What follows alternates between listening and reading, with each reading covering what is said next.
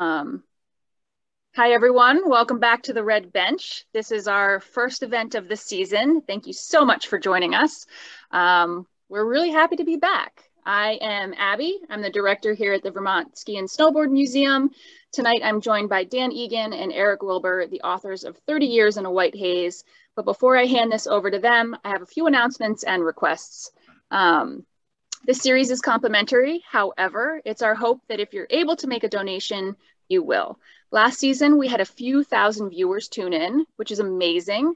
Out of those 3,000 viewers, only 11 and a half made a donation. If all or even half of those viewers donated only $10, that would provide the museum with the financial stability that we dream about. And just like last year, everyone that donates at least $10 will be entered into a raffle for a pair of Darn Tough socks, and each additional amount donated in increments of $10 will earn you an extra entry. The museum is a nonprofit organization, and we do rely on your generosity. So thank you to those of you that have already donated, and thank you in advance to those of you that make a donation tonight. Also helping support this series are our Red Bench series sponsors. I'd like to welcome our new silver sponsor, RK Miles, our returning bronze sponsor, Sisler Builders, and our returning media sponsor, Vermont Ski and Ride. Without their support, we absolutely couldn't sustain these events, so thank you. Okay, so joining us tonight, as I said, is extreme skier and author Dan Egan and co-author Eric Wilbur. Dan is a world-renowned skier and pioneer of extreme sports.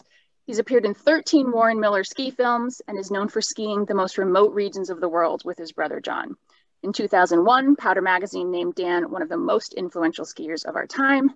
And in 2016, he was inducted into the US Skiing and Snowboarding Hall of Fame.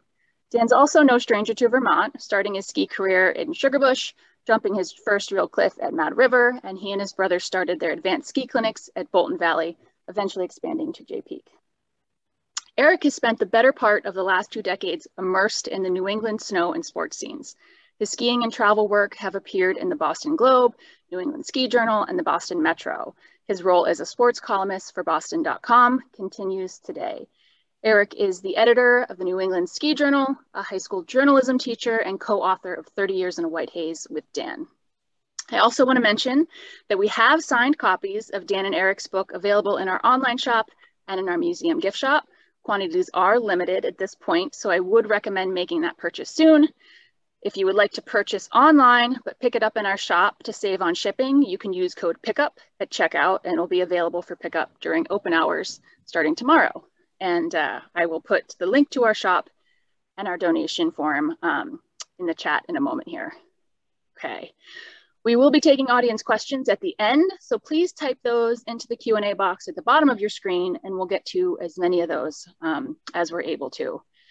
Okay, with that, Dan and Eric, I hand this over to you. Thanks, Abby. Thanks so much. Hi, everybody. It's uh, so fun to be here and uh, really super excited to do this. Um, you know, September is that month where you're the furthest away from snow and the closest uh, to snow. It's like that, that a lot of anticipation uh, in September. And I call it the busiest month in the ski industry. There's so much going on um, and we made it through summer. So super excited. Eric, how you doing today? Doing great. It's uh, you know back to school, kids are back, and it's um, chaos. But you know, I love the fact that the weather is chilling down, um, and that is the first sign. It's like in a few weeks we'll get those those photos of Sunday River blasting the guns, you know, and just getting us all excited. Absolutely, and it's so fun to see all the skiers who are attending tonight. Uh, I love that. I love the attitude in Vermont um, and just how hardy it is. You know, um, of course, we're East Coasters, and uh, I think that that just quals- qualifies us for so much because uh, most East Coasters, myself, uh, Eric, and my brother, and everybody that I know, we ski in anything uh, all the time uh, just because we love it. And um, that's what 30 Years in a White Haze is all about. It's uh, it's about loving to ski and the story of John and Dan and how we how we went from Boston to around the world. The other piece of 30 years in a white haze, uh, it talks about the uh, Mount Elbrus expedition in 1990, uh, where John and I went to one of the seven summits of the world, and I was lost in a storm for over 30 hours. Uh, 15 people died, and a Russian saved my life at 17,000 feet. And the next day, Sasha and I rescued 14 people. We had never told that story uh, really in its entirety. Um, so that's woven through the book. Uh, before we get going tonight, Eric and I want to show you just a little bit of a video. It's a short video uh, that gives you the overview of the book. So we'll we'll go with that now.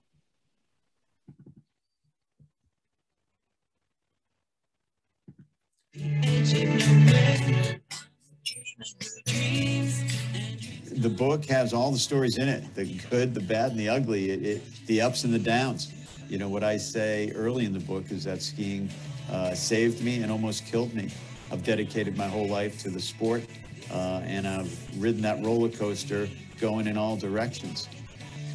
Right around the time uh, Brother John and I were being inducted into the U.S. Ski and Snowboard Hall of Fame, Eric Wilbur had reached out to me. Um, you know, he's a great writer and had written about John and I quite a bit. Like he'd already had the the framework for White Haze already in place. Um, was just kind of looking for a direction. But when I sat down and talked with Dan that first day, I realized this was going to be a much more uh, deeper uh, look at a skier uh, and, and at an industry that uh, made him a star. You know, I had seen John become a ski bum and slowly make his way into the films. I, I started ski bumming in 1984, 85, uh, and did that for a bunch of winters in a row. And, and I wasn't really interested in skiing professionally. It hadn't entered my mind. I was interested in skiing and skiing every day. Once our career started to roll, it, it, it was, uh, it was going fast. Like it took off uh, into the movies, skiing for the North Face, skiing for Warren Miller. Warren was rocket fuel for my life. Uh, being in the movies opened up all sorts of doors. People seem to love being able to connect with a certain part of history that I think a lot of people really hold dear. You know, the stars in the 80s, you know, the Egan brothers, the Deslauriers, Scott Schmidt, um, you know, all these guys that we saw on VHS film. We welcomed these stars into our living rooms, uh, our dorm rooms, our, you know, ski houses. Uh, being able to put that into words and having that sort of like a, a, a litany of that era uh, was very important and very special for me to do. The first time I met Warren, he told me that my skis could be like a jet airliner, that if I just held on to them, they'd take me all around the world. And, and he was right. Warren also told me that there was no book written on where you had to work and where you had to live. He told me to write the book. You could go anywhere. And he was right it was you know fascinating talking to Dan and, and sitting and listening to him for hours. Uh, all the stories that he had from his upbringing to the adventures he had around the world, um, to the people he's met. Uh, some of the most fascinating conversations I've ever had. Having known Dan for probably 30 years, the book filled in a lot of gaps that I didn't know about him. He's a fascinating character. Uh, when you look at how entrepreneurial he is and has been over the years, uh, no matter how much you think you know about him, the whole story isn't there until you read the book.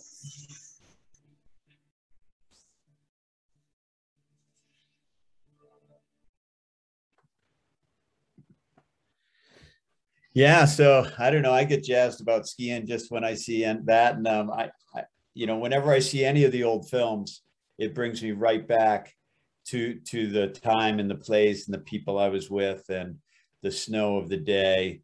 When I see the tram jump or the Cornice break, I remember the emotions of the day. And and Eric, what was that like for you? You know, you know, pulling those emotions out of me and putting that down in, in the book you know, I, have said this before. The first time we sat down, um, I, I, didn't really know what to expect in terms of what this project might look like, uh, but I kind of envisioned it as just like not as deep as we got. You know what I mean? Like we sat down, and that day was more about um, the the ties to their family, the the Elbrus expedition. Um, you know, your your problems that you've had in life and going into that on the surface was like oh my god this book is going to be so much more different than i thought um, and realizing all those emotions and getting those out of you uh, was for me to be able to do that is, is a pride i have you know because I, I knew in the writing process that there were times when i would send you a certain segment and that i wouldn't hear from you for a week and I remember in the very beginning, I was like, oh God, that's because he hates it. This is over. I got to find another partner to work with. And um, no, I learned quickly that what it was was was you were diving into it emotionally and realizing um, kind of the, the the emotions it was taking for you to tell the story. And credit to you for you know sticking with that all the way through. That um, you didn't hold back. And I think that when we decided to, to write this in the third person and not first person, um, you know that you know that was done by accident. Really, it was just kind of like I started that way. But I think in the end, it ended up really working because it allowed everybody else to speak their piece, to speak their mind without you um, running the show, so to say. So while you are the author of the book, you're also taking a, a, a seat back, you know, to, to see what other people are saying about the industry, about you, about um, your your legacy on skiing itself. And I thought that worked out tremendously well. Yeah, that that was quite a process to to do and to tell the story in the third person. And and and I'm so glad that we did because it gave it gives all the different characters in the book their their say and their space to say it and and their recollection of memories you know that's one of the reasons why i really always wanted to write a book because it you know it takes so many people for things to happen and the book goes back into the days of the ski market uh, when my oldest brother bobby after he got out of norwich university uh, ran the braintree ski market for close to 10 years and and working there and getting to meet all the reps that came through the ski market for all those clinics, uh, learning about the ski industry as a teenager, mounting skis, selling skis, uh, realizing how they were made. Um, Mike Bisner, of course, was a big part of that. Um, when I once I got my driver's license, he gave me 16 windsurfers, and I became the ski market uh, you know, windsurfer instructor, and uh, you know all those sort of things. But all those pieces made our careers possible. And um, when people, after they read the book, they always tell me, "Wow, I remembered all those names. I knew this person. I knew I didn't know you know that guy, and all that sort of thing." Uh, how did you keep track of all the characters, Eric, in the book? How did I? Um, you know, I I think it was um, I made a point to try and do things in terms of segments. So um, I would concentrate on one segment for a month, right? And I wouldn't really pay attention to anything else. So if this month is about the business of skiing, then I talk to Mike Bisner and, and those people, right? If it's about family the next month, I'm only about your family and I'm not concerned about other things. Uh, just because, you know, you're right. The, the characters can get completely thrown all over the place. Now, towards the end of the writing, we were deep in COVID. So it was basically my phone was ringing every five minutes because everyone was suddenly available. Right. Um, so at that point, then you kind of got to take a take a, a, left turn and say, okay, we got to do what we got to do. Um, but you know, the characters, and this goes back to, to to sports writing somewhat, and my anxiety and intimidation sometimes in that realm is that when you write about a specific sport, uh, the athlete is inevitably going to come to you and say, What do you know? You're not playing the game. And to me, I felt like that at times because I've been a skier all my life, but at the same time, I haven't been in the business of skiing, right? And I haven't uh, uh, written about the history of skiing for uh, as, as to the extent that I did. And so I was a little intimidated by that. And I'm glad that I had you at my disposal, obviously, to say this is wrong. Um, but when I've got guys like, you know, um, a, a ski shop owner who came up to me in the, in the middle of the summer and said, you know, that portion of the ski market and the, the business then was really good. And I'd forgotten about this part and I'd forgotten about this part. And he was asking you questions about it. Um, that to me was a big boost because it felt like, yeah, I did it right. You know, I, I, I talked about and wrote about an industry that I hope I'm learning about more um, to the degree where someone in that industry comes up and says, you know, it was well done, for lack of a better term. So, um, you know, and then there are other characters in the book that I wish I, you know, could have caught. Um, that um, you know we had the contact info. I think Moit was one of them that I wish you know we had a phone number from Moit. Um, but you know, it, it was great to being able to. You know, I think when I when I first started this book, I think it was going to be the, the, the Dan and John show, which it is. But it's also, and I think that we don't get too bogged down in it. It is a ski history book, you know, that goes into, um, you know, a period of skiing that really hasn't been covered that much. You know, freestyle skiing has been covered in in its multiple ways, but I think the extreme scene, um, at least from my, my generation, was something that we watched and appreciated and devoured, you know, but never really had a chronicle of it. You know, there, there's ski magazine that's skiing, but there's never really been a book about it, I think, in that regard. Um, so to be able to do that and put that together, uh, for me, is a really special moment. Yeah, and that, that's one of the really cool parts of the book is that, uh, you know, for me, it was really important uh, to tell that side of the story because uh, a lot of you will have remembered the movie Steep. Um, you know,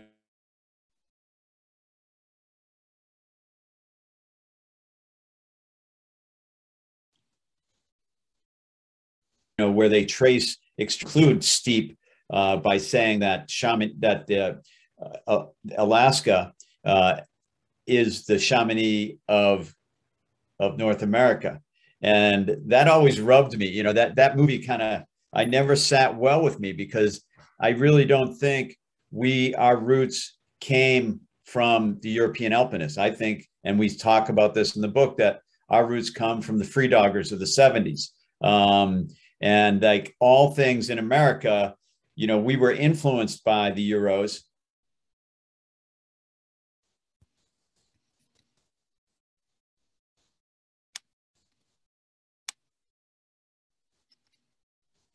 But we we emptied so much a sport as it was entertainment.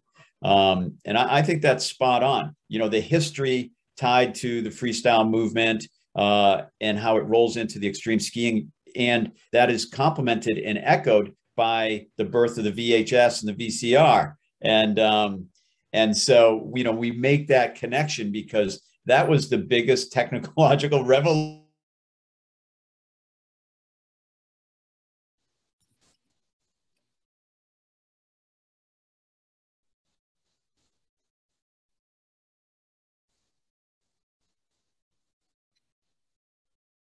Uh, of our and that history, Eric, I think is what is what really brings the fullness uh, together.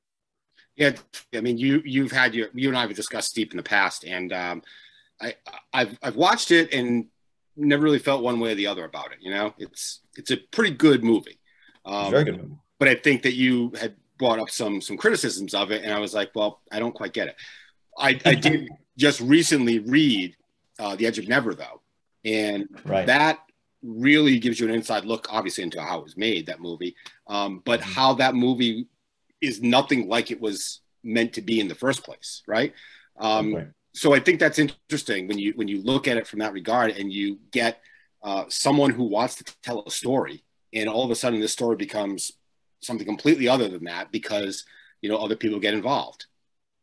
In our case, you know, I think that the fact that we had control over the story and we're able to tell it the way we wanted to tell it you know whether that be fighting people about you know the first person third person narrative or it be you know um, you know telling certain things that you know in a certain way that i wasn't sure about it but you were certain about it you know and having those discussions uh, was great that we were able to you know have that freedom uh, freedom found to to steal to steal a term. And um, you know the history i think is is i'm a history geek when it when it comes to sports so to be able to to dive into um, you know something that I'm so passionate about and and and get a fuller understanding of a lot of the the marketing and, and business side of a whole generation of um, of the sport um, was really a treat. And you know the the the piece really you know John and I uh, you know we did not grow up in the mountains. We weren't a North Country family. We didn't grow up part of a ski team. Uh, we didn't belong to a certain ski area. We didn't have season passes. You know, we were ski club kids. We, my mom got a day off every Saturday in the winter by putting every kid on the Blizzard Ski Club bus that would pick up along 128 outside of Boston. And, uh, but our skiing roots go back to my grandfather who lived in the highest hill uh, in Boston, in West Roxbury. Uh, and my mom uh, learning to ski with her brothers down the medium strip of the parkway. Um, and then my dad, you know, walking four miles after school in his leather boots to ski and uh, in Quincy at the golf course, President's Golf Course. So, you know, we we had sort of like that route of skiing, but it really wasn't until John moved to Sugarbush in 1976 that boom, things really started to happen. Um, and Eric, what, when you wrote uh, about my first uh, winter there, working at for Robert Forenza at the Alpen Inn, uh, those stories, they're quite the ski bum story, don't you think? Oh yeah, it's it's fantastic. Like that, I remember that day we sat down and you me telling the story, and it was like it was. I didn't know what to expect more or less than that story because it was typical ski bum, right? Um, Dan walks into the into the the well, I'll, I'll read a quick passage actually. The warning sign that Dan was stepping into an atypical lifestyle came shortly after he pulled up to the Alpen Inn, where the owner, Robert Forenza, had told him his friend John had, had told his friend John he'd hook up his younger brother with a dishwashing job.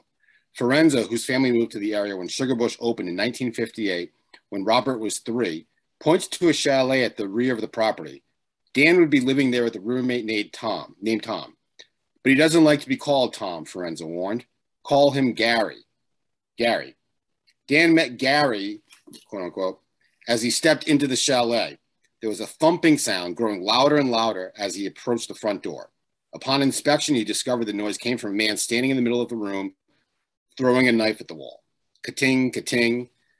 Like Dan even had to ask, Are you Gary? Forenza told Dan he shouldn't be fooled by Gary's rough exterior into thinking he was an ex convict. That was hardly the case, especially because he was an escaped convict from Florida. He carries a knife in his back pocket, Forenza told him, except for when he was systematically throwing it into the wall, of course.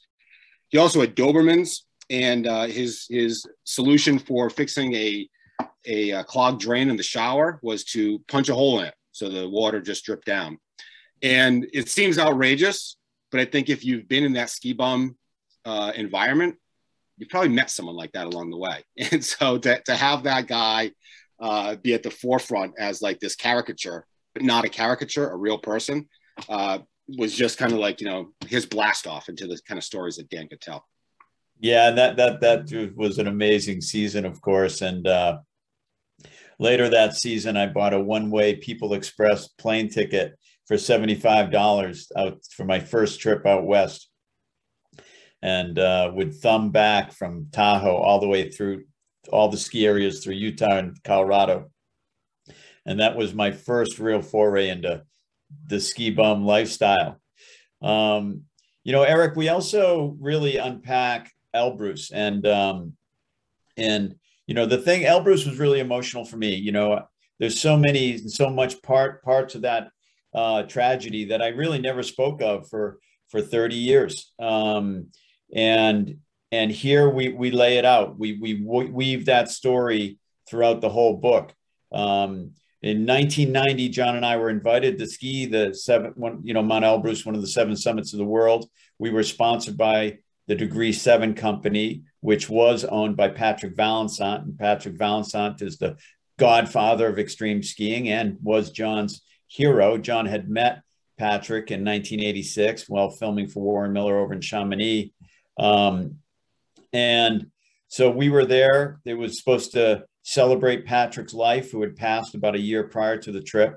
And uh, it was supposed to be the coming together of the Chamonix extremists and the US extremists. The trip went horribly wrong. Some people had won a chance to go on the trip. There were nine different country countries represented on the trip. Uh, but of the day on the summit uh, attempt, there was a big storm uh, which in which I was lost for 38 hours. Um, but Eric, that story, you know, it just it's it's a typical mountain experience, right? Um, but also has all these different twists in it. Yeah, again, the first time we sat down and you laid that story out for me, and it became clear that this was, you know, a, an emotional period for you. I mean, why wouldn't it be? Um, and you know, sitting down and finally getting to the, the meat of that story um, and having you tell me, uh, you know, bit by bit, you know, how it went and what went down and the the uh, the tragedy that you went through um, and the emotions you went through and how you fought through it and what it meant for you after that trip. Um, you know, obviously became the meat of the book. Uh, but it was in our first meeting, you know, at, when we were starting to plan this, that I realized that that was going to be the overarching thing, theme, um, because of um, number one, the the impact it had on your life. Number two, because you hadn't really talked about it or written about it before, um, and also because it was a shared experience you had with John. So getting yours and John's both sides of the story was, um, you know, tremendous. And, and I remember I got hours and hours and hours of, of audio from both you and John talking about that day. And it was, um, you know, it was fascinating to to learn about um, something that I didn't know about. You know, that's number one. Um, and two, that it, it was this really defining moment and it, and it was almost uh, cathartic for you to speak about it in that way and to to go back and relive it and to you know realize even though it's 30 years ago what an impact it still had on your your life your your beliefs your career you know you name it. And so um, that's something i didn't know in the previous you know what are we talking four or five years that we had known each other. Um, you know back then it was like john the Don, john and dan show and, and all the crazy things they've done. Um, and they're from boston. How cool right? And now you know you, you, go and you realize like the the Boston roots are so much deeper than just that, um, and there's such a deeper um, emotional tag to the to the story itself um, than I initially thought. Which I, and I initially thought there was going to be an emotional tag to it, but uh, nothing like this. So you know the the Elbrus uh, piece, you know, I it's great because I can envision in my mind um, by the stories you told me and that was great because it allowed me to write a lot easier that I could envision in my mind, which um, is credence to you as a storyteller yourself, the way you were able to kind of describe events and people and places and sounds and feelings. Um, so yeah, it, it, really does, you know, make up the bulk of the center of the book uh, for good reason because it's a it's a fascinating tale of survival. Yeah, you know, anytime I'd ever mentioned uh, Elbrus to people, they would say, "Oh, you've got to write about it." Um, and, you know, I had never, a lot of mountain disaster stories, um, you know, end with, with the epic rescue or getting off of the mountain. And I had, for me, you know, I was 26 when that happened. So for me, it was the beginning of my adult life. And, and I never wanted to tell it as the ending. For me, it was the beginning. And that's why really all these time, all these years later, I think it's appropriate to uh, start. You know, people have asked me when, how long did it take to write the book? And, uh, you know, um, I, I had, I was at one point for Warren Miller Entertainment, I was running uh, 21 of the cities uh, for the fall tour. And I was running, you know, east of Chicago, basically. I was in charge of all the shows.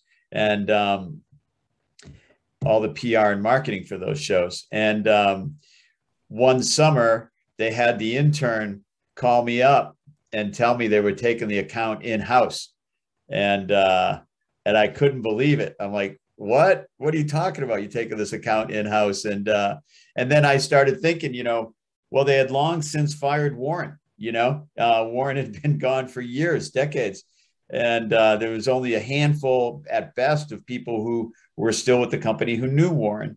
And um, a- after I hung up the phone that day, I thought to myself, what would Warren Miller do now? You know, and I thought Warren would write a book.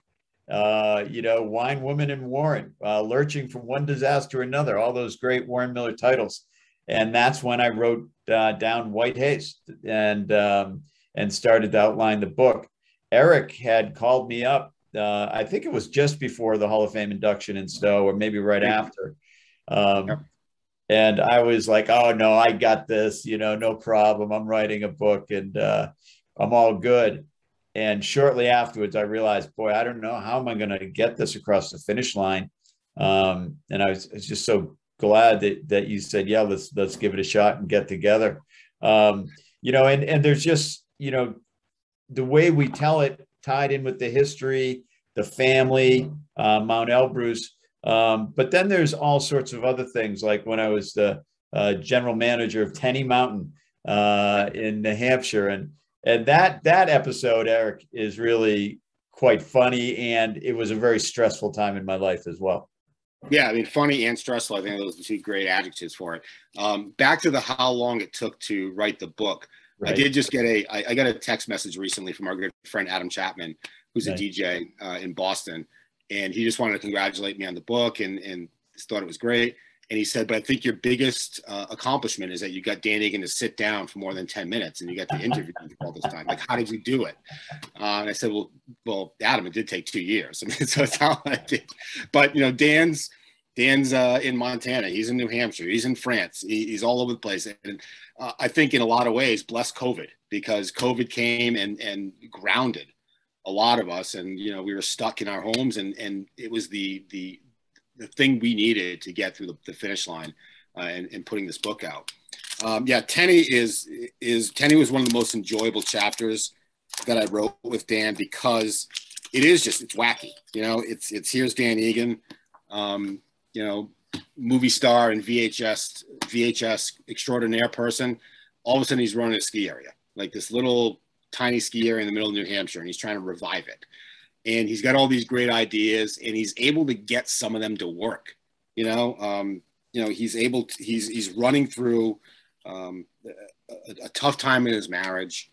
And the next thing you know he's making snow on the 4th of july and it was a, a great success you know it worked for a day or two it was a great success and the, the fact that he was able to put his mind to something like that and actually get it done and reading about how he did it it's it's pure Dan Egan, just the the the fortuitousness of it. No, we're going to do it. We're going to do it. We're going to do it, and it doesn't happen overnight, but he does it, and it, it is a, a, a comical um, kind of look at that, but also you can you can feel the stress just emanating off his his skin. Uh, there's one point where he meets Moit, um, who we spoke about before. And what was Moit's uh, just like a Moit was our basically our uh, you know jet, he was the sort of ran the shop. He was our maintenance guy. Yeah. yeah. And so so you know Moit uh, pronounces Himalayas Himalayas. Uh, told Dan it would be better if he had a little more knowledge when he took this job. You know, and it's that kind of character that you know I wish I could have spoken to if if Moit's around. If Moit's on this call, then give me a ring. Um, you know, those characters really came out in the book and and um, yeah look as a storyteller i'm only i can only be as good and i can only tell as good a story as the subjects tell me and in that regard i was lucky because i had so many people uh, with with rich history that were were willing to tell their story and you know in, in many cases itching to get that kind of story out so um, you know when you when you told the Teddy story and and you know there were other people that you know you didn't think were going to speak to me, and they ended up, you know, being some of the best, better interviews in the book. Um, that, you know, from a storyteller perspective, um, really means something. You know, I, I what I teach my kids in, in journalism class is that, um, you know, after 25 years in this business, I still remember the best stories I told or the most uh, engaging people that I, I met and were able to speak with. Now, 99.9% of them are not baseball players. I'll tell you that right now. Most of them are skiers um, or hockey players because I don't know. Maybe it's the winter mentality that, that all we all possess um, that that gives us that special vibe. Um, you know, we we kind of get each other in, in a lot of ways, and um, you know, speaking and getting those kinds of stories out uh, was a whole lot of fun for me. You know, there, uh, of course, the whole Warren Miller piece was really quite something. You know, I don't think a lot of people realize how long John has skied for Warren Miller. You know, John skied in his first movie in 1979 at Sugarbush. Um, I, I was 13, 14 years old. Um, he skied again in 80, he skied again in 82, 86. Uh, and then we skied together in 80, 80, 85, 86 and then we skied together uh, for Warren in '88, and then as the Egan brothers, it began. and and a lot of people have so many questions about how what's it like to ski for Warren? What what was that experience like, and all that sort of thing. And um, you know, really, it it's quite something to you know these days. You know, people are making on their phones they're making videos you know they're making it's it's crazy gopro and all that sort of stuff. But back then we were still shooting you know film. Uh cameramen had to unload and load their camera in dark bags. Uh, so they had to do it by feel with their hands in the bag. They had to take their gloves off on on Arctic trips and European trips with wind blowing in Elbrus, Tom Day, with in the middle of storms. Um, and it was really a, an amazing process to do that. Um, when I finally met Warren face to face, you know, he asked me, you know, what sort of contribution did I want to bring to the movies? And I said, well, Warren, I'd like to go all around the world wherever CNN is and go to these worldwide events. And Warren loved that. You know, we tell the story in the book about how we were living in France uh, and we had, you know, seven people stuffed into a studio apartment. It was coming up to the British holidays and we were getting kicked out of the apartment. So we borrowed a van and drove to the Berlin Wall and jumped off of it. And, you know, to see people's reactions of skiers on the wall uh, and, and the impact those skiers and that film had. We did that for the North Face was really impactful. The next year we were in Russia uh, during Perestroika. The next year we were skiing with the Kurds on the border of Turkey during the first uh, Iraq War. Uh, then we went to Yugoslavia before the Civil War. We then went to Romania after they murdered Ceausescu, and and on and on it started to go. And it was so amazing because while we were showing these films, we started uh, with slideshows. Um, and I, Ned Gillette was, you know, somebody I had looked up to and admired. And I used to really be enthralled with his slideshows on Everest and circumventing Everest and all the different adventures he had. He was sort of the marquee guy for selling sponsorships to big trips. I had looked up to him. So we started with slideshows. And it would always happen in the theater somewhere or at a ski shop showing a show or a movie. Somebody would come up to me and say, Have you ever considered skiing? Or did you know you could ski? And, you know, those sort of leading uh, comments is how we ended up in these places, uh, just on a suggestion. Um, and, and that, you know, for John and I, that travel piece is where we really connected with Warren Miller and the Warren Miller audience, you know. Um, for me, being in, in college uh, in the in the early '80s, uh, the idea of attaching myself to something bigger than me uh, was always something that you know we were taught in marketing and the business classes. Uh, so I knew Warren Miller had an audience bigger than I could ever reach, and I knew that the worldwide events would have bring a bigger audience to the Warren Miller films. Uh, and you know, you don't really know you're doing it in the time. You just kind of, yeah, we can go there. Yeah, we can go there. But now in hindsight, you know, the impact that had on our career was amazing. And uh, I don't know, Eric. It, it's sometimes when I tell people the places I went and all the different places we went, they're like, "Come on, it's not possible." you know, like, you know, it's it's funny. I mean, it's it's on film, so it, right. there's proof for you. Um, yeah. Speaking of, I, I, I say to my class, and they're you know 14 15 year olds i say film and tape and they all look at me like what what are you talking about and it's like it's just those are just terms okay deal with it um but yeah i mean skiing the world and, and skiing where cnn is gonna is gonna go um was at that point in in time like just this foreign concept right? Because uh, it was more about telling the story rather than just the the the, the visuals. And the visuals ended up being fantastic because here's Dan and John climbing up a mountain, and there's oh, there's a, a helicopter right there in in the way. Um, you know, in those sorts of things were so different at that point um, that you know I'm sure you know putting words in his mouth that Warren really appreciated and and and, and loved the the new vibe and the new direction that you and, and John took it. Um, you know, it, it's amazing when, you know, my kids ask me, where have you skied? And I will, I will list it down or I'll show them the map and the book. And they just kind of shake their head like, oh my God, like really? Like they have skiing in Turkey? Uh, and it's like, yeah, I guess so. he was there, and I guess he told me that he did it, so why not? Um, but you know, hearing those stories and, and, hearing those foreign lands of, you know, for me and, and and I have three kids that you know I took to Utah, and that for them is like the big, the big adventure. Um, so for them to to learn about all these other places in the world where you can actually ski, for them is you know mind blowing. And then when you turn on you know Dan's little map here and you look at it, and now my mind's blown about the places that that he skied. Like this is my Utah, Africa. It, it, it, it blows my mind that all this skiing and sailing um, that Dan has been able to um, experience in this world um, has been, you know, it's great. I, I think it's, it's it's pretty awesome when you have a vision of something you want to do with your life and places you want to go and, and, and things you want to experience and you know Dan has made sure to to do that.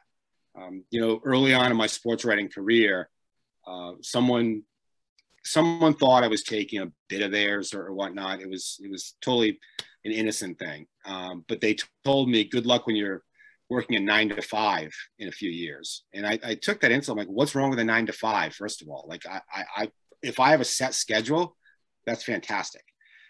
But I did take from that also the the point of you know working for yourself and working for your dreams that you have and not really giving up to that you know i always wanted to be a journalist i always wanted to be a sports journalist and it worked out for me it worked out that i work, ended up working at the boston globe where a place i wanted to work as a as a you know growing up as a kid well it worked out because new york times ended up buying the red sox and i was part of that package as part of NESN at that point and everything has a way of you know, I'm not going to say if you can dream it, you can do it and go all Walt Disney on you.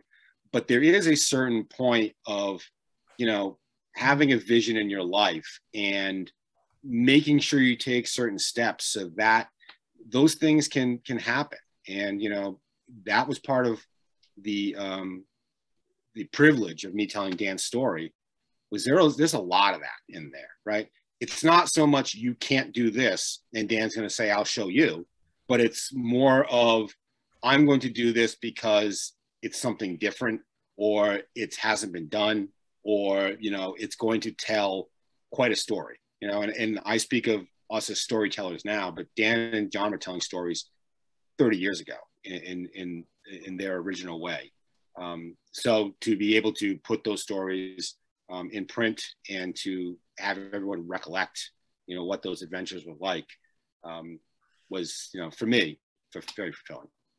The, uh, you know, yeah, it's amazing that, you know, Warren Miller really was the anchor for that for me uh, to teach me storytelling and perseverance. Warren, if anybody out there hasn't seen the movie Ski Bum, it's worth watching the Warren Miller story and how Warren persevered in his own life to make his dream come true. Uh, and and that really motivated me here to get this book to get this book written um, you know, John and I skied in so many movies. Uh, it's hard to pick, you know, sort of our favorite uh, film. You know, there's just really favorite moments. I think jumping out of the tram for virtual reality, uh, vertical reality uh, in the 90s, that was a great moment. Um, of course, so many people remember the Cornice break. But of all the places we went around the world, um, Turkey was the most memorable place. You know, it was the friendliest place at a very strange time. Um, and, you know, it was really skiing in Cappadocia, where the underground cities are, where the big sandstone spires, and just the overall experience. And so much of those trips ha- have to do with who you're with and, you know, who you're traveling with. And we just had a great crew there. And, you know, John and I went all around the world with Dean Dekas, the Greek, and you know, he became like a brother for for me and John, and one of the greatest ski bums I've ever known, uh, and so many great cameramen. Uh, it, it's just so amazing. But uh, Eric, um, we it's about quarter to eight now, and uh, do you have uh, questions for me? Do I have questions for you? Yes. Um, where are your adventures taking you this year? Do you know yet? Yeah, well, I, you know, I'm I'm geared up. You know, we're really hoping that uh, Europe, you know, keeps keeps open and you know we can get there. And you know, I've got a lot of trips planned for Europe, uh, Switzerland, uh, and and of course my springtime in in France uh, for a month. So you know, still still hope, hoping yeah everything goes smoothly. Uh, I've been talking a lot with uh, the European resorts and and they're geared up for visitors. Uh, just got to follow the protocols. And of course, I'll be in Montana at Big Sky um, and bouncing around. So excited for the winter. Um, it's it's really, of course, it's a new time for all of us. Um, you know, with with COVID and, and what's happening now, of course, is coming back. But uh, for me, you know, my spring uh, in Val d'Isere, France, uh, it's really just I look forward to it. It's a great place to kind of settle in for me to end the season over there. Nice. And I guess I've never asked this question. What was your favorite part of the writing process that we had? Well, you know, for me, my favorite part was I don't know. It was one, like you said, it was emotional. It was very hard. Um, but I think the expansion, uh, you know, the process we had of of of how the chapters went back and forth between us, uh, and how once I kind of realized that like I can go into any paragraph and just blow it wide open and add emotion and add people and just kind of do that. I mean, that process for me was pretty cool. Uh, I was a little slow to really engage there at first, but then once we started doing it, you know, I really got involved and with that part of the process. Um, so I, I, really enjoyed that. Um, and you know, but my favorite part is when I hand the book to people and they're like, dude, 400 pages, nothing to say. Like, uh, and you know, between you and I, it's always funny because I'll be with Eric and I'll be like, dude, I forgot to tell this story. I wanted to tell this other story. And Eric will look at me and go, 400 pages, 400 pages. yeah, as I was writing it, and, and you know, I didn't really have a, a, set for what you know, I, am sitting there Googling how long are nonfiction books. Um, and then I get over the hundred thousand mark and it keeps going. And I was like, well, let's just, let's just see where it takes us. And, and it ended up being that, you know, a lot of it, um, you know, what I'm, what I'm told is that people love the, the length of the story. They love the, how compelling it is. Um, and that's great. You know, it, it's, it was, uh, it was a, tr- like I've said it a million times, it was a treat to write. One of the highlights of my, my journalism career um, to be able to tell this story like this and and to be it have it be uh, so warmly received is uh, it means a lot to me. Nice, nice. Um, yeah, so I guess we're uh, we're at a good time to throw it open to the audience. We've got some questions already kind of throwing in. Uh, Abby, if you want to lead us down that road, that'd be great. All right, I'm back. All right. Um, Okay, just a reminder that if you do have questions, I, I'm seeing some questions getting kind of muddled into the chat, which is hard to um, kind of sift through sometimes. So if you have a question, put it in the Q&A box, which is at the bottom of your screen. It's easier to manage. Uh, one question. I am curious how Dan developed the skiing skills to do such extreme skiing. What was the progression to be able to ski such challenging terrain? Well, you know, I, I, I kind of, you know, my mom's theory for raising us was to kick us out of the house, just get outside uh, all day, don't come back, you know. And uh, we lived on a hill, and when it snowed, we would ski all over that hill, down through the woods, down, jump, build jumps over the driveway, land in the neighbors' yards, and we did it on snurfers, we did it on sleds, we did it on skis. Um, so there was this idea of like just go out and do it. It didn't matter about how icy it was or the conditions or the weather. Um, my older brothers are eight and six years older. Bobby's eight years older. John's six years older than me. So to keep up with them, you know, they they wouldn't wait for a snotty nosed ten year old. Um, and so I had to really learn some patience uh, and and really try and keep up. Um, you know, John and I used to hike up the mall at Sugarbush on on Nordic skinny skis and alpine down uh, in in you know Nordic boots. Like we were into pushing our talent and pushing the envelope. Um, you know, we his buddies at Sugarbush and and you know who I wanted to hang out with. You know, they were always like, "How fast and straight can you go through the moguls?" how many times can you jump through the moguls? You know, John's advice to me was um, ski as fast as you can until you crash and then get up and do it again. So, you know, it was really trial and error and just balance. That that was the progression. so kind of on that same note, um, just growing up, you, you know, the family dynamic, your family life, growing up in the city, how how did that shape your career, the rest of your life? Yeah, you know, one of the things we talk about in the book is that the two main uh, things my parents instilled in us was confidence and independence. Um, you know, from the age of five, I would leave the house on a summer day, walk a quarter mile to the trolley, take the trolley to the train to the red line, take the red line into Boston, uh, get on a bus and walk the final mile to South Boston Yacht Club, which is not like a you know, you know, sort of blue, you know, it's, it's a real working yacht club, rough neighborhood in the 70s. Uh, and I did that every day. Uh, and then I was sailing boats up and down through Boston Harbor solo, uh, really from the age of 10, 11 on and racing boats uh, all over. So that sort of adventure, you know, navigating the city, navigating the, the train and the trolley and the neighborhood and the kids I would meet on the street corners. That that I think really shaped the way I, I saw the world. Um, I, I, I have a feeling John would say a similar thing. You know, uh, it affected us how we saw the world, uh, the places we could go.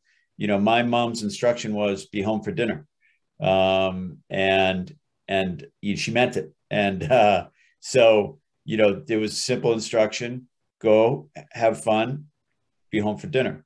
And, you know, just managing all that, I think really did shape the way I saw the world. Great. Um, can you share a little bit more about your experience working with Warren Miller and how that kind of set you up for the rest of your career?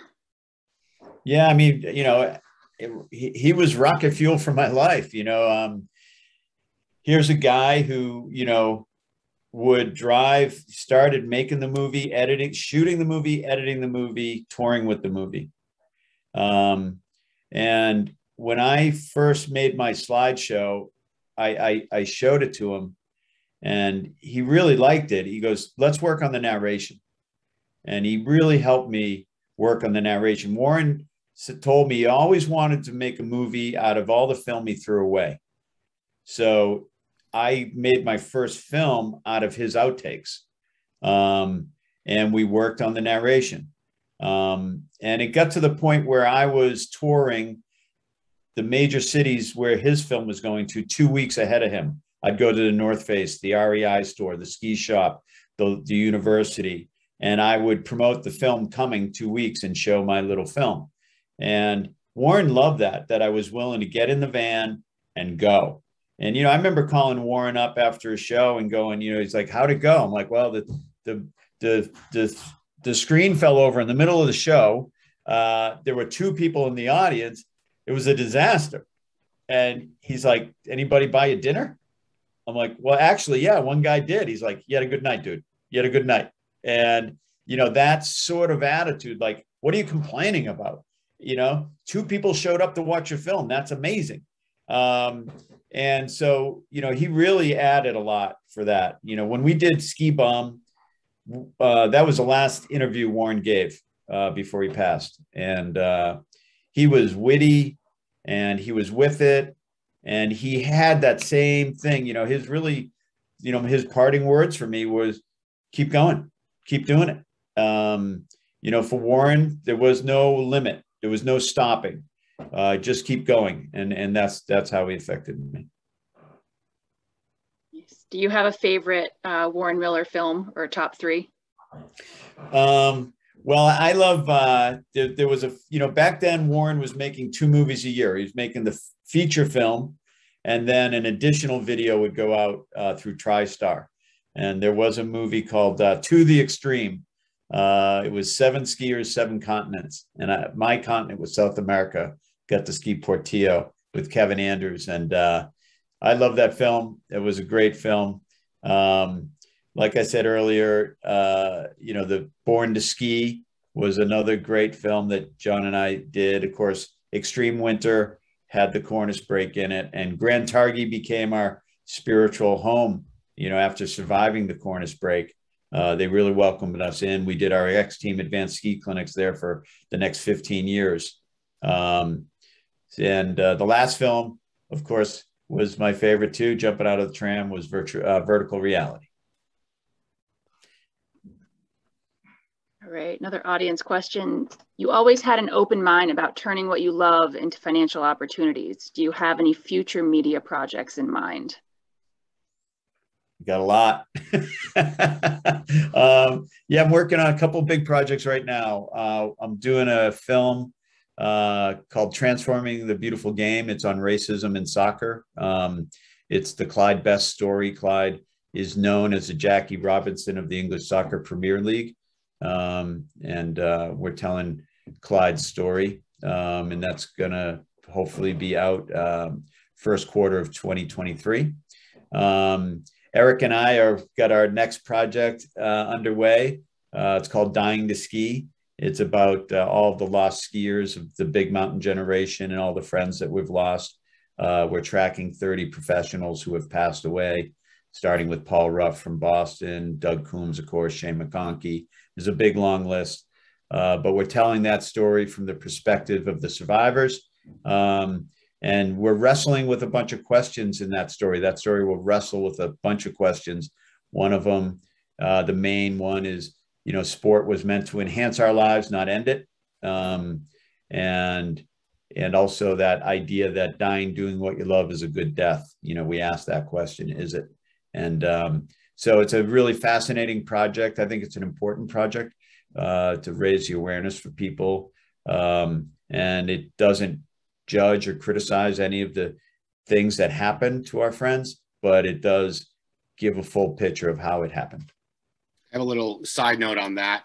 Um, you know, my my son, one of my one of my kids is an 11 year old boy, and uh, my mom told him that you know you should read your father's book. You could do it. It's it's not that that difficult for you to get through.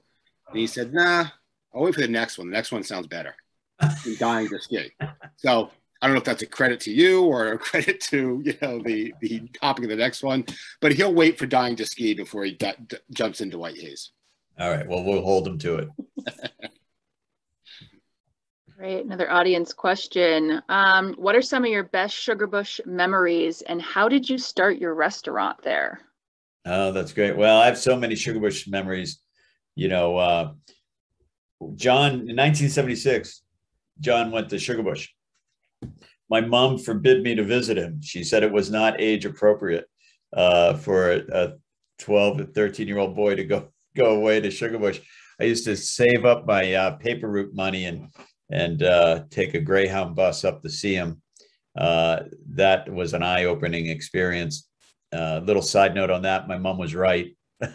um, uh, but uh, but you know those early days at Sugarbush, the passion I saw, you know, all of those John's friends, all those ski bums, they all went on to be independent businessmen with great careers. Uh, they just went about it a little different, but they went about it with a lot of passion. But for me, you know, skiing Spillsville uh, is, you know, that, that's one of my favorite trails at Sugarbush. Um, and I have so many memories of just you know lapping Sugarbush, and of course uh, Sugarbush North. Uh, you know, up up upper F- FIS uh, on a totally nasty, icy day when people would only look down it, and John and I would ski it like it was a powder run. Uh, I I love that. You know, I I I really wish I still had that ability to do it or that attitude to do it because, you know, as icy as it was, man, we were on the Völkl Renntiger and it felt like all grip, no slip skiing, and it was amazing. Um, but then, of course, you know, the hiking in the woods, going over to Castle Rock from north um, and dropping in on a powder day, all those sorts of things. Uh, you know, Sugarbush is a special place and it's a special community. And I did not start the restaurant. That was John's restaurant, the Big World. Uh, and uh, I think that came about through uh, through Bernie and Jerry. They all sat down together, the three of them, and launched that idea. That started in the old Mad Bush uh, hotel and bar, uh, motel and bar, and then they went to the Gallagher's building at the corner there, um, and they had a great run. It was a beautiful place. Right. Your book does a wonderful job telling Dan's story, including family history, which I loved, as did my brother. This is an audience member, not me. Uh, working and traveling with John must have been a dream. Do you think John might have a book in him too? I imagine John got more than one book in him. What do you think, Eric? Uh, last I talked to John, John had a title for his book all picked out, but the book has not been started yet. Uh, to my knowledge. The, I imagine it would be amazing. And uh, I know John has told me he was going to tell the real story. So stand by we'll see what happens. The ultimate teaser there. Long range. All right. How do you decide how far and how you can push the envelope in skiing or other sports as we maturely age out from being invincible youngins and have family and other responsibilities now? Yeah, that's uh so there's a syndrome called uh immortality syndrome. Uh, it's uh, it particularly hits young boys between the ages of 16 and 28. Uh, the only cure for immortality syndrome is near death, death, or marriage. And uh, and uh, you know that's a that's a tracked medical uh, definition right there. The um, I I've experienced that, you know, and um, I think what happens, you know, we change every decade things change. Um, and I know that in my 40s, I was like, huh, something's happening. I don't know what. I still feel like I can do it. I still want to do it. I was kind of pushing it hard. I would take my falls. It would bug me. My ego would be involved. I would want to go back up and do it. Um, jumping started to slip away from me. I, I, would not jump really unless it was a perfect day jump these days. Uh, I just don't, that gene went away. When I watched little Johnny, John's oldest boy, John, Johnny ski, when he comes to ski with me at Big Sky or I hang with him at Bridger, he's like 22, 23 now. I see exactly what I don't have anymore that reckless abandon, that balance, that's that punch it. So what I've done, you know, and, and in my 50s now, I I just want to be in in it. I want to go out and touch it. I want to experience it. I want to go out onto the slope. I, I want to be there. I don't have to ski it the same way as Johnny, little Johnny and his buddies, but my other niece, my other nieces and nephews and friends, but I still want to be there. And, um, and I love that, you know, I love that I can still have the, not only the ability, but the availability and, and a lifestyle that still puts me out into avalanche terrain, onto steep slopes, uh, early ups with lifties and the, and the ski patrol like access. Uh, it's a dream, and uh, I just ski it now with no expectations. I'm not expecting to be the best one down. I just expect to enjoy it probably more than everybody else. Great perspective. Uh, what do you do to get in shape for ski season? Yeah, it's nonstop. You know, it's, it gets harder and harder. Um, but I'm a swimmer. I like to swim. I'm a cyclist. I love to ride my road bike. I don't do too much mountain biking.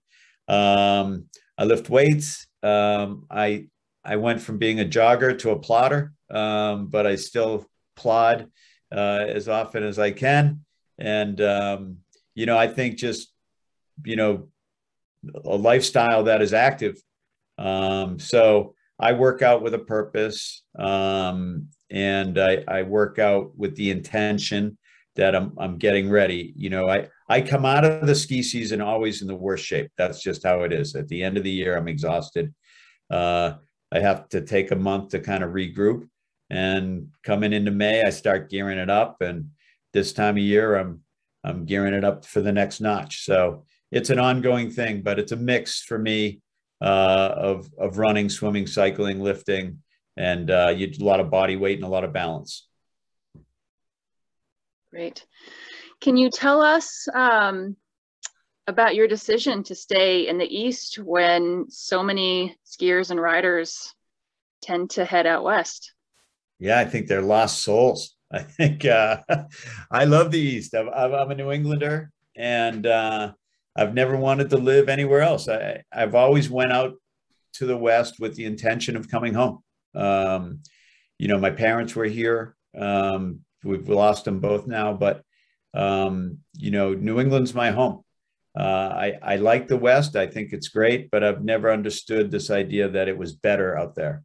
It, it never seemed better to me. Um, I love the ocean. I'm a sailor, um, and I love the lakes. So you know, all that brings me back here. I, I cannot think of a better place on the planet than a New England summer. Um, this was a hot one, but you know normally they're just in a wet one, but normally they're perfect. And uh, as we head off into the fall now, the world comes to New England. So I'm a New Englander.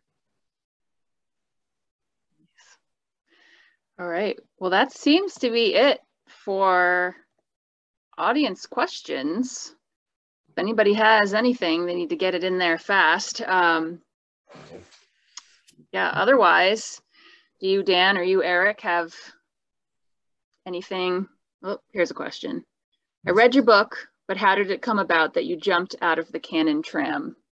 it's a great story. Um, you know, the uh, Gary Nate had shot uh, skiers jumping out of the Snowbird tram for Warren Miller. It was an iconic shot. Remember the first time I saw it sitting in the theater as a kid, thinking, wow, that is cool. That's outrageous. Um, so when we came back here to do the film for Ski 93, we shot the movie at uh, Loon, Waterville, uh, Cannon, and Bretton Woods. You know, it was so tempting to jump out of the tram. So we asked the question to the state of New Hampshire, could we jump out of the tram? And to much to my surprise, they were all about it. Um, they said that we had to start with the doors closed so that on the film you could read Cannon. So that meant the minute the doors opened, we had to go out because knowing the editors, they might cut it out. Um, so uh, we had to sort that out. We jumped out of, I think it's Tower Two.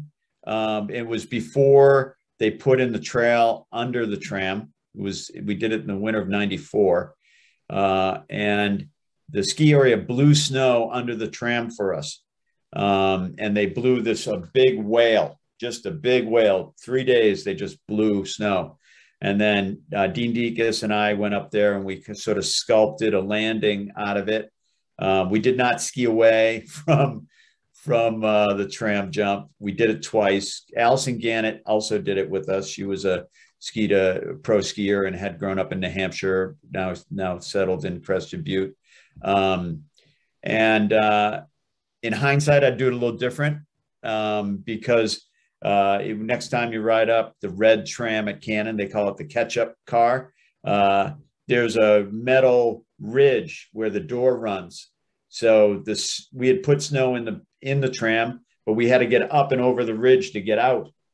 And uh, I don't know why it didn't occur to Dean or I to build a ramp in there. We could have easily built a ramp and had some momentum, but we started from a dead stop. So we had to go up on our poles and then push out to get away from that ridge because if you hit the ridge, you'd tip over.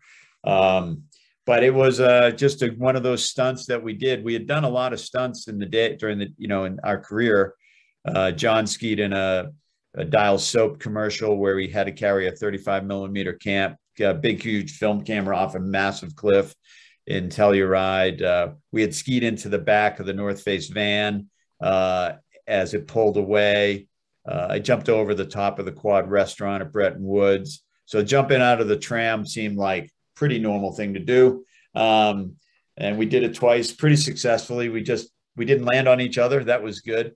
But the story uh, of the shot was big because um, what happened was it became this event. So ESPN sent a crew, Fox Sports sent a crew, uh, and everybody was down below looking up at the tram. And the AP photographer and the Tommy Grissom, the Warren Miller photographer, could tell that that wasn't the angle. So they went up in the woods to get height so they could shoot across. to get the shot that they got so they could see us against Eagles Cliffs across Franconia Notch.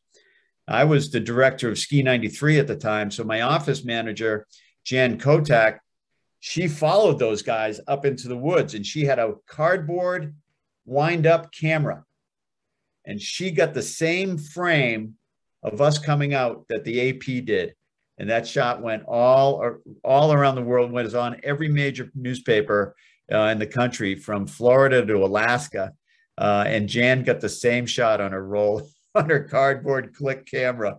It was so amazing. But uh, yeah, that's the tram piece. Uh, someone commented that they love these stunt stories. Do you have more? You mentioned you mentioned a couple of them. Well, the uh, do you?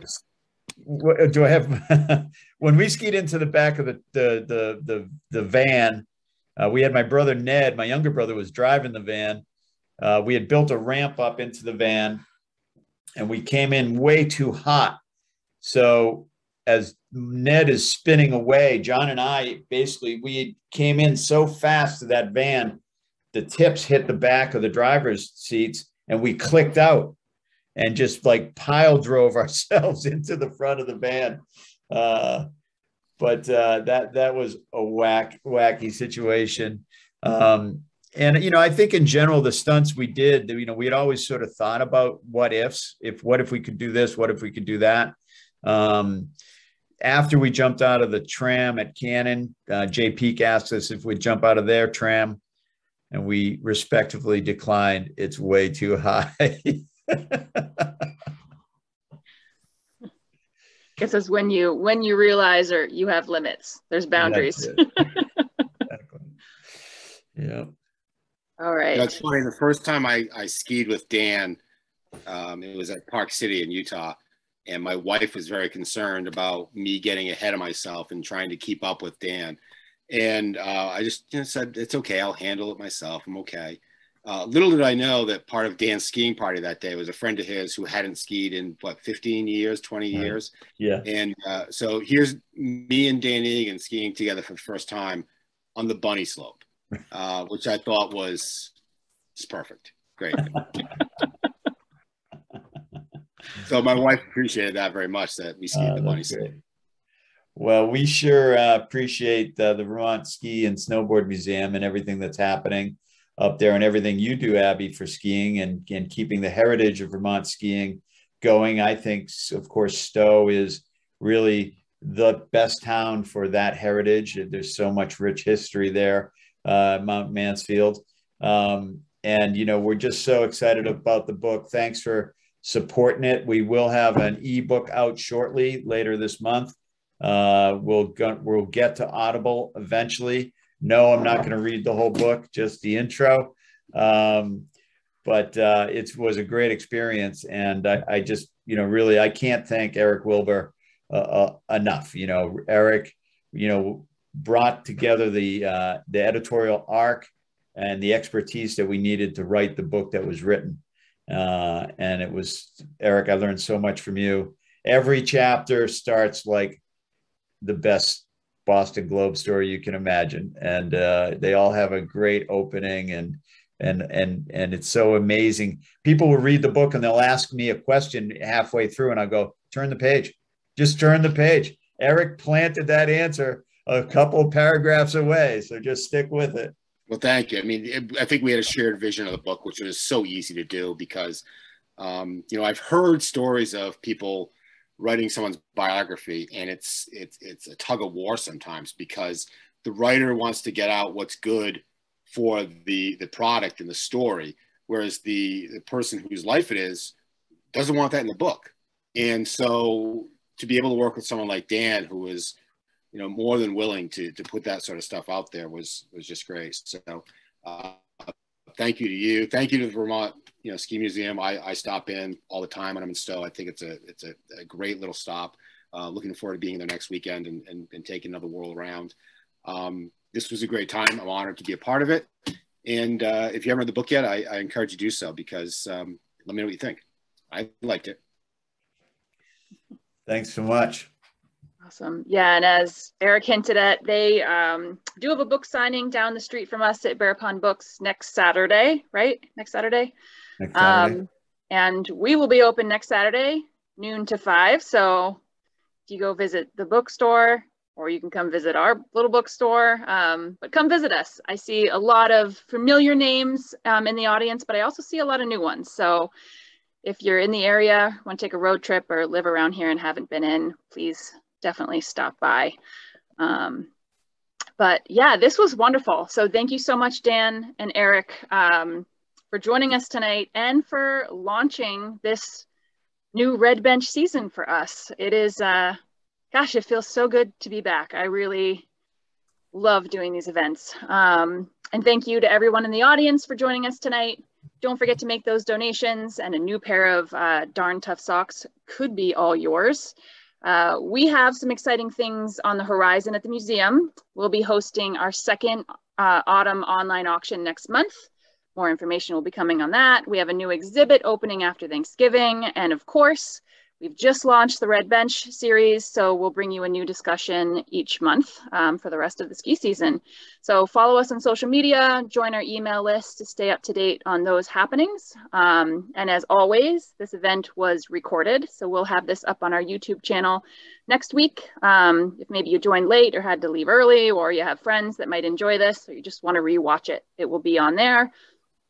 And as I said, we have signed copies of the book um, available in our gift shop in person or in our online shop, which the link to that is in the beginning of the chat. Um, and I just want to mention, you know, there's the chat kind of reads as, as some great reviews for this book. Um, clearly is a must read and everybody agrees. Um, so if you haven't read it, get your hands on it, and give it a read. Um, that is, that's it for tonight. Thank you all so, so much for tuning in. Um, have a good night.